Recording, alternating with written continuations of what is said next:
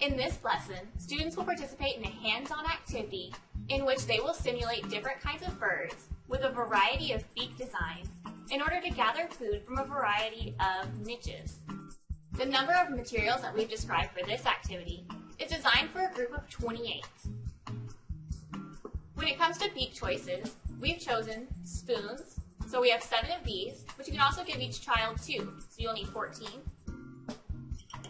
We used binder clips, or you could also use clothespins. You'll need seven of these.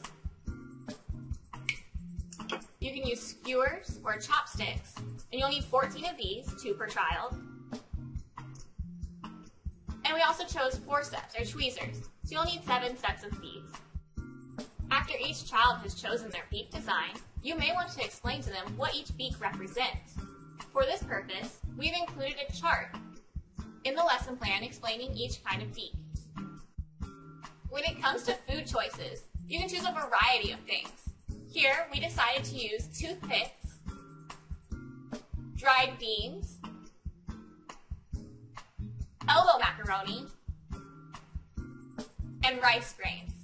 But some other really good options are paper clips, rubber bands, cereal with O's or marshmallows in it, or gummy worms. But you should always be considerate about student allergies when choosing food sources.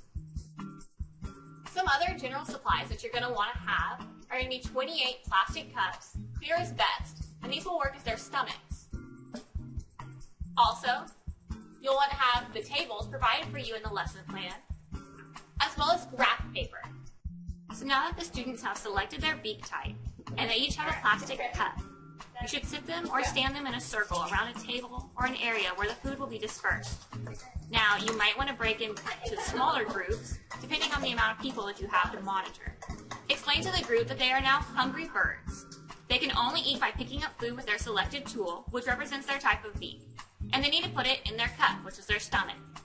The cup must remain upright at all times, and they must hold the beak in one hand and the cup in the other at all times. Tell them that one type of food will be spread out at a time, in the middle of the circle, and evenly in all directions. And when you say go, you will allow the birds to feed for one to two minutes, or until all the food is gone.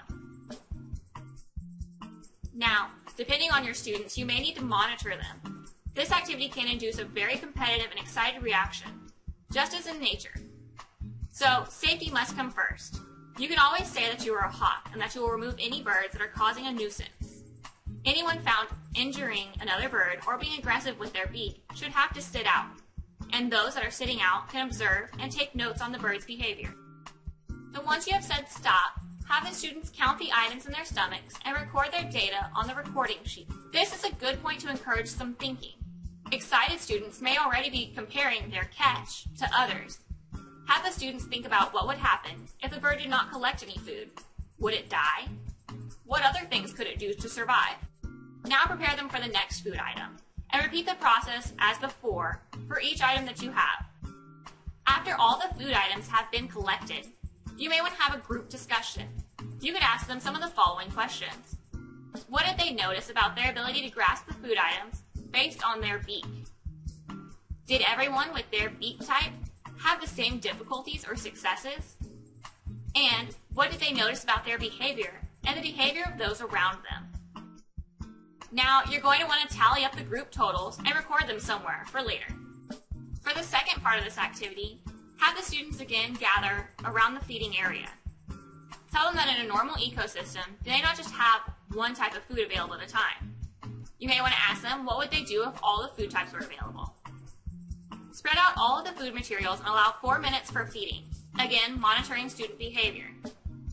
After the four minutes is up or the food is gone, have students collect and record data again on their data sheets, indicating how many of each type of food they were able to gather.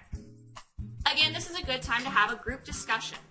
You may want to ask, what were their strategies this time to gathering food? Was it different than their previous times? And how so? Ask the students which beak type would be most successful if all these types of birds flew into an island together and the only food there was the macaroni. Which bird beak would be the most successful? Have them explain why. In any habitat, food is limited, and the types of foods available may vary. Animals that are better adapted to take advantage of available foods will fare better than those who are less well adapted, and thus live to pass on their genes to the next generation. Understanding the idea of adaptive advantage opens the door to understanding populations and ecosystems, as well as the process of evolution. It is important for veterinarians to be a part of this activity because we are the local resource for information on animal behavior, nutrition, and ecosystems.